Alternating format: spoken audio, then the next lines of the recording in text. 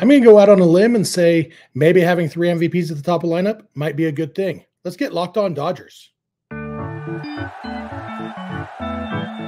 You are Locked On Dodgers, your daily Los Angeles Dodgers podcast, part of the Locked On Podcast Network, your team every day.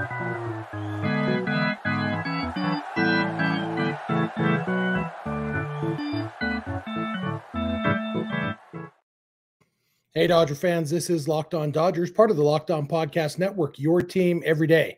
Thanks to our everydayers for making Locked On Dodgers your first listen every weekday morning. Remember, this show is free and available on all podcast platforms and on YouTube simply by searching for Locked On Dodgers. And please subscribe wherever you're watching or listening right now. If this is your first time with us, I am Jeff Snyder. That guy next to me is Vince Samperio, my co host. Vince and I are both lifelong Dodger fans, just like a lot of you. We've also both spent time covering the Dodgers in the press box and the locker room. So we're not quite insiders, but we bring you the smart fans perspective on our boys in blue every weekday morning. And Vince, it's now officially, officially, officially baseball season. Every team that didn't uh, wimp out and decide not to play in the rain has now played some baseball games. I think there were a couple rainouts, but uh, opening day happened. The Dodgers are now two and one. They beat the Cardinals on domestic opening day seven to one. And uh, for me, the big takeaway was through two times through the lineup. Uh, the big three at the top were four for six with five runs scored, and it would have been six runs scored if not for a base running error by Shohei Ohtani. Um, I, I, feel like having three of the best hitters in baseball at the top of your lineup is probably a decent recipe for a good offense. Yeah, there's uh when you almost got the the back to back to back in in game one, uh, so you you almost got that there, but yeah, I, uh, to go against the the lowly Midwestern farmers uh, that are the St. Louis Cardinals and Miles Mikolas eh, to go against guys that are making a lot of money, I guess, you know, compared to them. Um, it worked out and and it worked out exactly how we thought it would. And and the good part about t- like the game yesterday was that it worked out with the top of the order, but also the bottom of the order contributed. Max Muncy had an RBI single. You know, James Outman brought in a run. Teoscar got a double and scored in between all his strikeouts. So it was an exact way of how the Dodger offense should work. Yeah, the Miles Mikolas uh, project didn't work exactly the way I said. I think I said seven runs in three and a third. It was only five runs in four and a third, but uh, still knocked him out early. And yeah, uh, the Dodgers made Mikolas pay. Uh, I don't know if they were thinking about his comments at all. Uh, I heard David Vassegh say after the game that several guys on the team did mention that Mikolas is a notorious trash talker uh, on days when he's not starting, just in the dugout and stuff. So it did seem like the Dodgers were maybe a little bit uh, excited and happy to knock him around a little bit. Dave Roberts made kind of the same point that I made on this show that uh, seems like uh, a team spending a lot of money should be something that the players should be in favor of, uh, members of the players union. Uh, so Roberts was as bemused by it as as I was, but yeah, I mean, the fact is Miles Mikolas is a decent pitcher, but uh, he wasn't any match for the Dodgers lineup. And and even though like the first couple times through the lineup, I think against Mikolas, the bottom of the lineup didn't do much at all. Um, but then they got to the the bullpen later. Outman had two hits. One of them was a accidental infield single, but then he had an RBI single. Like you said, Muncy had a sac fly and an RBI hit. Uh, and, and, yeah, all in all, you know, when you're getting five runs scored in the first three innings by the top of your lineup, you don't actually need the bottom of the lineup to do that much. Uh, but you know, so anything you get from them is is kind of a bonus. And and like I said, th- this is how you would imagine the offense is going to be successful for the most part. Those top three guys are should do the bulk of the run producing with you know Will Smith and Max Muncy kind of in that next tier, then everybody else kind of in in the tier after that. So it it was fun. You know, it was uh, a great day to be at Dodger Stadium, a great day to you know catch a ball game, and uh, we both were able to do that. So that was fun. Yeah, we got to see each other. Uh, it was it was a lot of fun. You mentioned the Dodgers almost had the back to back to back homers that I predicted is going to happen a couple times this season. Uh, Mookie homered on the first pitch of the inning, and then I think Freddie's homer came on the first pitch he saw in the at bat. In between, Ohtani walked, but on the three and zero oh pitch, he got a pitch right down the middle and took a mighty hack. He swung and missed, but uh, you know that that pitch is going to turn into a homer on that swing uh, at least some of the time. And so you know it would have been nice to get that back to back to back, get one of them out of the way for that prediction. Uh, but you know, it can't expect everything on opening day. Ohtani had a double that could have been an RBI triple uh, in the first inning. Uh, he Dino Ebel held Mookie up at third. I think Mookie would have scored pretty easily, probably. It makes sense with nobody out and Freddie and Smith coming up to to hold him. But unfortunately, Ohtani was thinking three and didn't see Ebel hold Mookie up. Uh, I, I, it's pretty clearly on Ohtani the base running error. Uh, you you have to be aware that the guy didn't go, but it's also kind of understandable why he thought Mookie would have gone because uh, Ohtani's thinking I've got a stand up triple here, so of course the guy on first base is going to score on my triple. Uh, he forgets, I guess, maybe that that Mookie isn't as fast as him, uh, but also, you know, I, I, think it's a natural place. First inning, nobody out to be conservative with your your third base coaching. So I wasn't see, surprised to see Ebel hold him up, even though I was a little bummed because I do think he would have scored easily.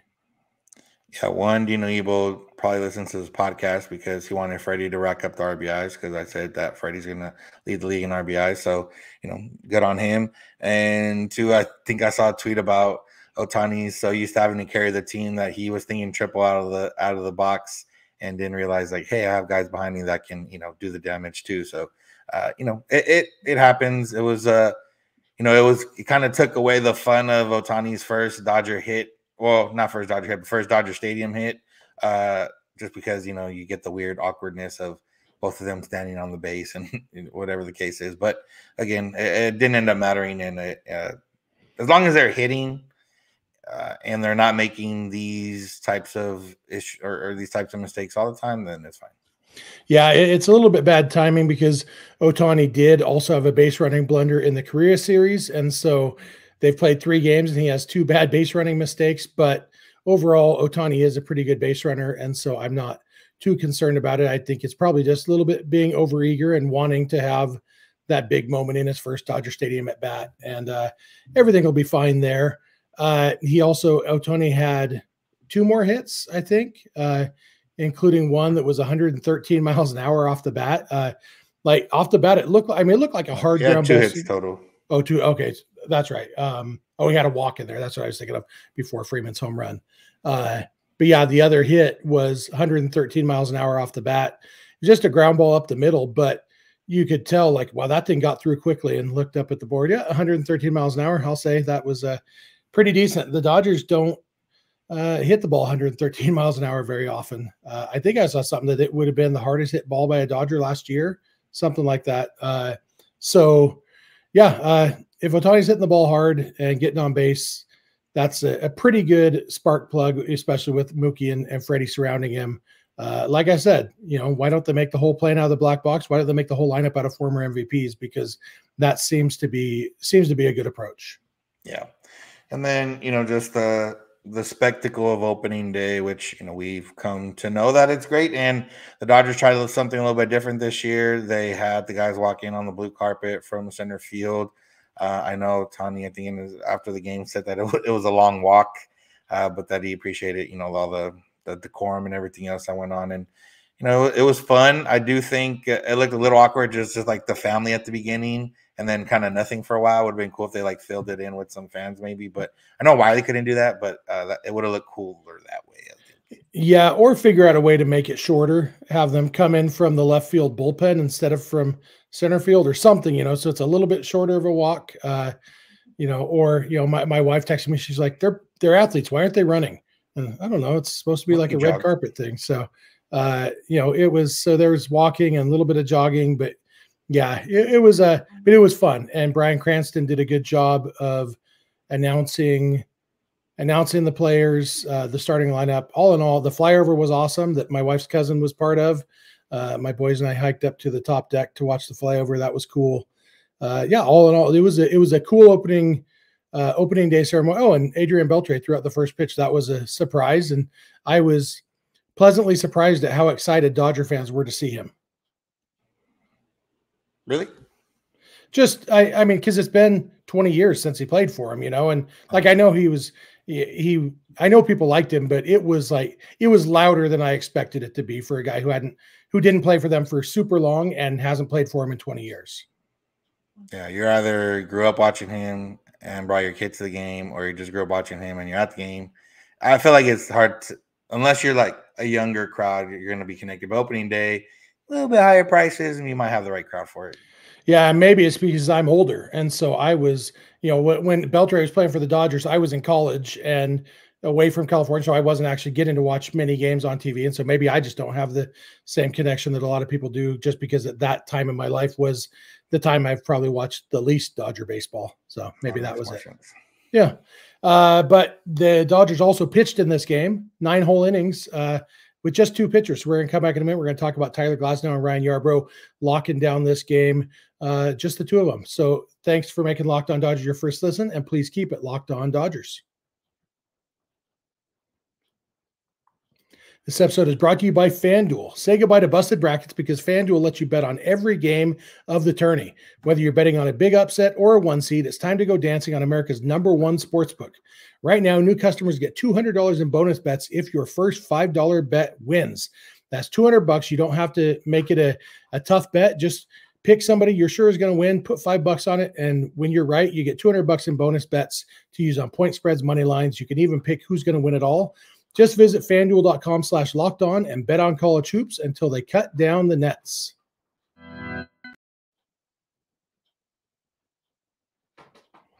Here we're back. To thank you for making Locked On Dodgers your first listen every weekday morning, especially our everydayers. You can become an everydayer by watching and listening every weekday morning. Met quite a few everydayers at the game on, on Thursday. That was a lot of fun. Uh, you can also become a Locked On Dodgers insider by going to joinsubtext.com slash Locked On Dodgers. And you can check out Locked On Sports Today and Locked On Sports Los Angeles, the two 24 7 streaming channels over on YouTube from the Locked On Podcast Network. Also, remember, you can catch every Dodger game, uh, the Dodger broadcast on Sirius XM uh, or the SXM app. It's a lot of fun. I actually turned on the post game show on Sirius XM in my car as I was driving out of Dodger Stadium. And uh, it was weird. I don't know if you've ever experienced this, Vince, but uh, I'm listening to the radio and then a commercial came on. And my first thought was, that guy sounds like me. And then I realized it was me. It was a commercial for this podcast uh, in the middle of the Dodgers postgame show with me talking. And uh, I, I had forgotten I recorded that commercial. So uh, check out SiriusXM and the SXM app uh, to listen to every Dodger game. And with that said, uh, Tyler Glasnow looked really good after a little bit of a rough start in Korea. He pitched uh, six strong innings against the Cardinals, allowed just one run on a solo homer to Paul Goldschmidt. In all, Ryan Yarbrough came in and pitched the the last three innings, and Paul Goldschmidt was the only Cardinal to get a hit. He had three hits, and the rest of their team combined to go for 27, at least for now. I wouldn't be surprised if uh, Victor Victor Scott the second ends up with a hit eventually after a an appeal. Uh, I wouldn't be surprised if the error on Mookie Betts gets turned into a hit. But either way, whether it's three or four hits, uh, those two guys really shut things down for the Dodgers on the mound. Yeah, and for Glasnow, you know, the the ish not the issue, but one of the issues he has is you know, can get a little bit wild at times. I've had a little bit of issue in Korea, but a lot of pitchers had those same uh, similar issues in Korea. So maybe we chalk it up to that because he was super efficient, 81 pitches, six innings, 81 pitches on just the one walk, you know, struck out five and, and like like you mentioned, not did give up one home run, but just two hits total and then you know you got Ryan Yarbrough cleaning it up after that. So for what we expect out of Glasnow and kind of what we think he's going to do for the Dodgers this year, today is probably a little bit more of what we expect than you know anything else. Yeah, and you know, in, in, our bold predictions the other day, I predicted that a lot of Dodgers would get saves. Maybe my bold prediction should have been that the Dodgers are going to have like 25 three inning saves this year because they do have multiple long relievers. They have Yarbrough and Kyle Hurt and uh, Michael Grove, who are all capable of going three innings. And I imagine they're going to win a lot of games by several runs like this, where they will have the opportunity to just, you know, the Dodgers are up by six runs. Just say, hey, Yarbrough, come in and just close it down, even if you give up a run or two, you know, pitch the last three innings. And that does save the bullpen a lot because now the Dodgers, who don't have a day off for a little while, didn't have to use any relievers other than Yarbrough in this game. And so their entire bullpen is fresh. There's there's a lot of value in that, especially with three different guys who can do that. They're going to have the opportunity to, you know, every few games, hopefully, have a, a game where none of the short relievers have to pitch at all. Yeah, and it, it's I wouldn't I don't know if a risk, you know, but we haven't seen some of these guys throw back to back. So you do need to win some games like this in order for it to work. Not every team can can really roll out something like this now as time goes on you know grove and hurt will probably throw some back to backs or you know two out of threes three out of fours uh, just out of necessity because you know they're not always going to win by this score you or they could but uh, you know realistically they're going to hit some spurts where they don't and that's kind of where you know I want to see what happens there because it work when it does work, it works out perfectly. Like today, you know, one reliever, three innings, that's all you needed. Boom. Okay, next game your your whole bullpen's fresh. But you know what happens if the next two games are are close games and the starters don't go as deep and you know you need to use multiple arms and then Grove, you know, as we saw wasn't as effective in the second inning. Hurt wasn't as, as effective in the second inning. That could have been just a one time thing. That could be something moving forward. That's something we're going to learn as this you know thing goes on. And and in a seven to one game, it doesn't matter so much, or you know five one six one. I don't remember what it was when Yarbrough came in specifically, but it's not going to matter too much. But you know when it's uh maybe a five two game and you're trying to get by with these guys win multiple innings because you do need to save some of your relievers. That's where I'm interested to see how this is going to go. Yeah, I did see one person on social media complaining that Dave Roberts pulled Glasnow after six innings. He's only 80 pitches, you know. Uh, important to remember first start of the season. I haven't Most, learned by now. I don't really know when you're going to. Yeah. Yeah. I think people just like to be angry about something. Um, it, it was kind of fun sitting where I was sitting because I was near the Dodgers family section. So seeing Tyler Glasnow's family sitting down in the front row uh, of that family section.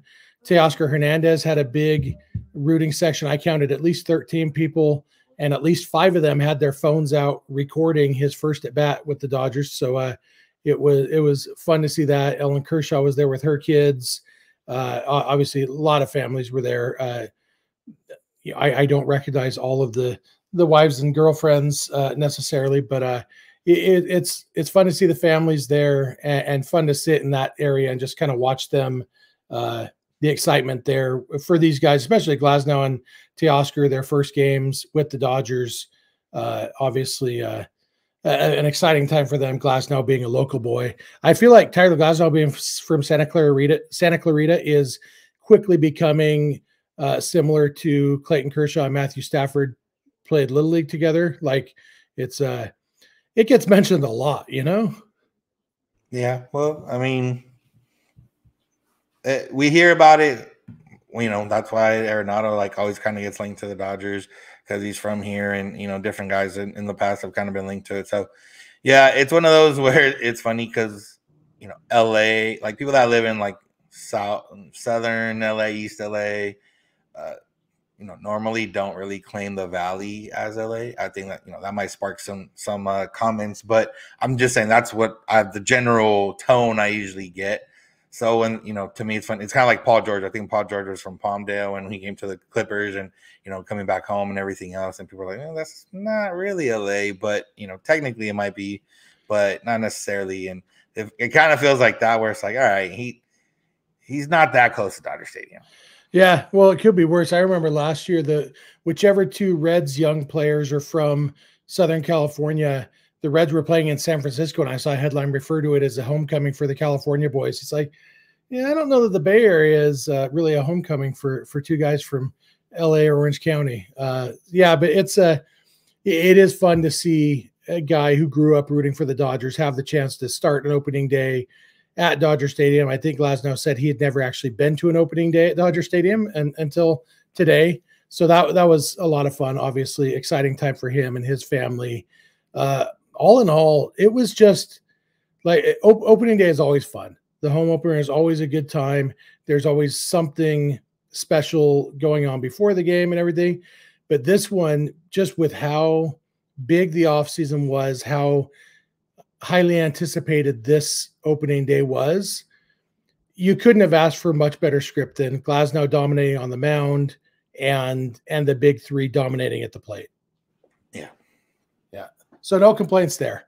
Uh, we are going to come back in a minute. We're going to talk about uh, some injury news that we got from Dave Roberts before the game, talk about how that could impact the team going forward, and maybe talk a little bit more about opening day. So thanks again for making Locked On Dodgers your first listen, and please continue to keep it Locked On Dodgers.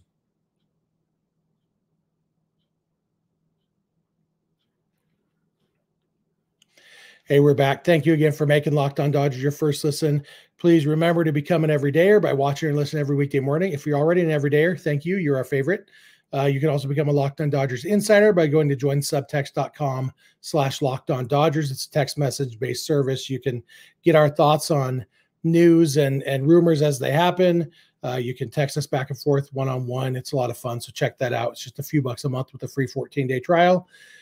Be sure to check out Locked On Sports Today and Locked On Sports Los Angeles, the two 24 7 streaming channels over on YouTube from the Locked On Podcast, Podcast Network. And when you can't watch the Dodger game on TV, be sure to check it out on SiriusXM or the SXM app. Uh, you can get the, the hometown broadcast there anytime you want. Uh, for example, Friday night's game is an Apple TV exclusive. And so if you don't have Apple TV Plus or whatever it is, you can listen to the game uh, on SiriusXM or the SXM app. So check that out.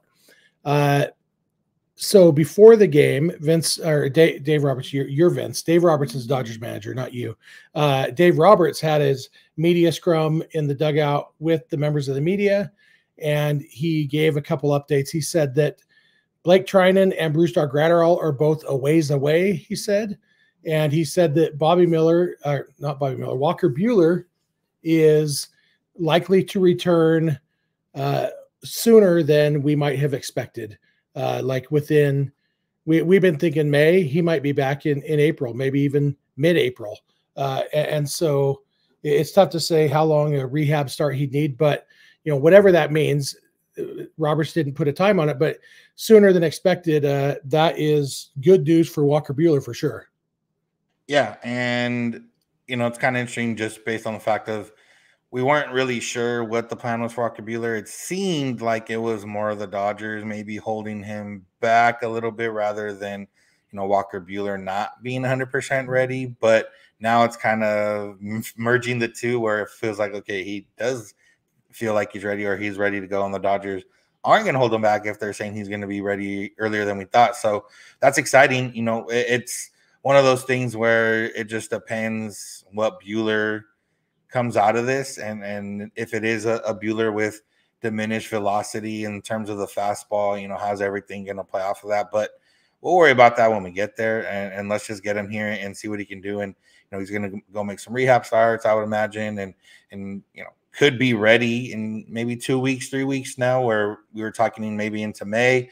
You know, maybe it's it's before May now, and that and that's exciting. And you know, we'll, we'll you know, as we talked about, like everything kind of figures itself out. We'll see what happens in the rotation. Like, are they going to bring him back? And then, you know, Stone gets to move down, but Stone will kind of be that first guy up the rest, you know, until the next they need somebody or whatever the case is. You know, there's a lot of bridges to cross once we get there, but it's exciting to get Walker Buehler back. Yeah, for sure.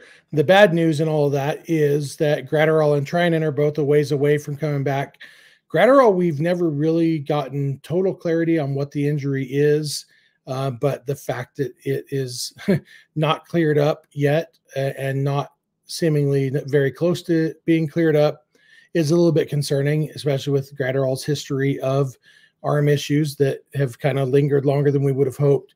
Treinen, we know exactly what his injury was. He got hit in the chest by a line drive, it had a bruised lung, and I've never had a bruised lung, so maybe this is normal recovery time. I kind of assumed since they they originally didn't didn't even immediately rule him out for going to Korea, and so I just kind of assumed okay, it's going to be a, a, relatively short term thing. But now it seems like uh, maybe a bruised lung takes longer to heal than than I might have thought.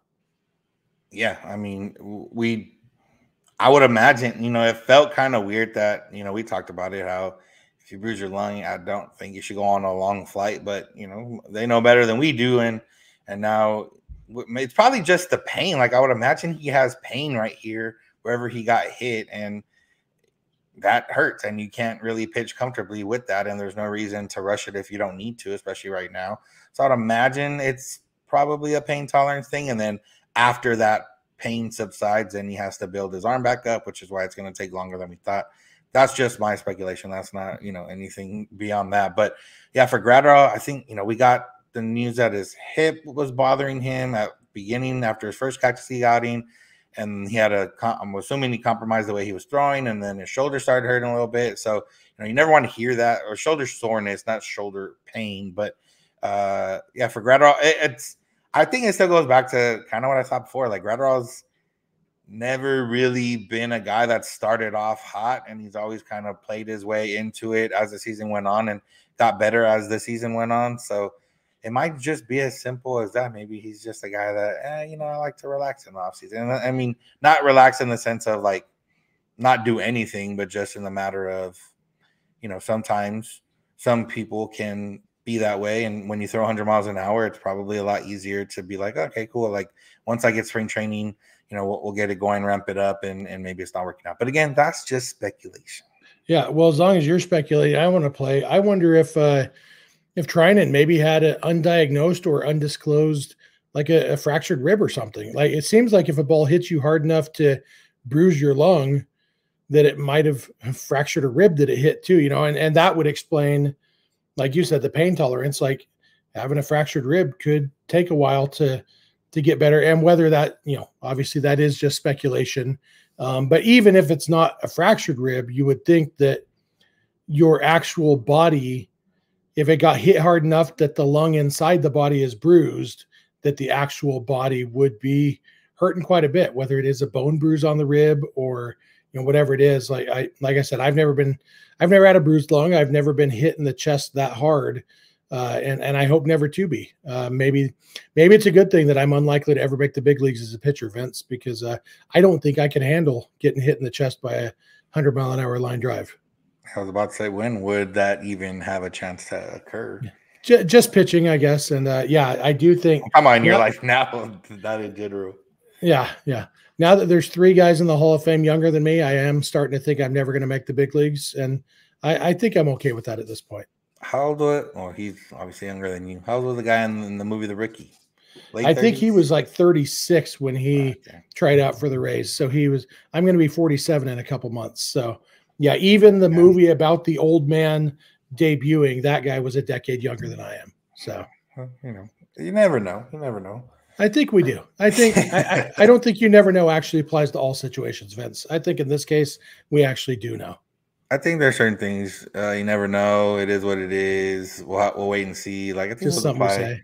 Yeah, those yeah. apply to all situations. Well, I'll lock this down. Even if a team calls me and wants me to play for them, I'm going to say no. So there it is. It's official now. I am officially retiring, retiring. from baseball. Yeah. Yep. Uh, but I'm going to keep doing this podcast because I like it. It was a lot of fun being at the game. I had my my sons were counting. I think eight uh, eight everydayers come up and say hi to us. Uh, so that that was a lot of fun. Uh, a couple that I met before, our buddy Pat Dwyer.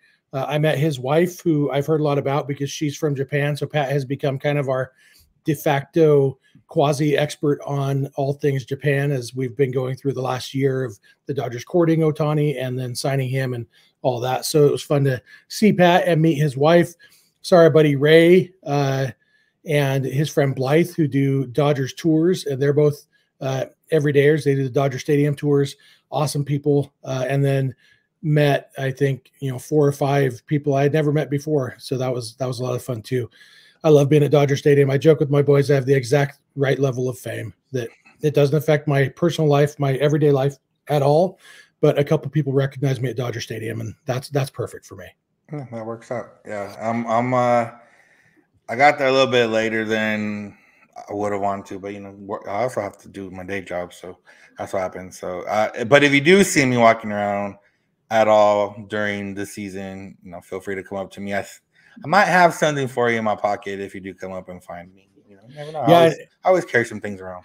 And it worked out well that you happened to be there when when Ray and Blythe walked up because uh, they were excited that they got to see both of us. You and you and I. I think today was what we maybe met each other in person like ten times now, something like that. It so, might be in the double digits. Yeah, so that was exciting. Always good to see you. I guess uh, I don't know. I think we've covered opening day. You got anything else, Vince?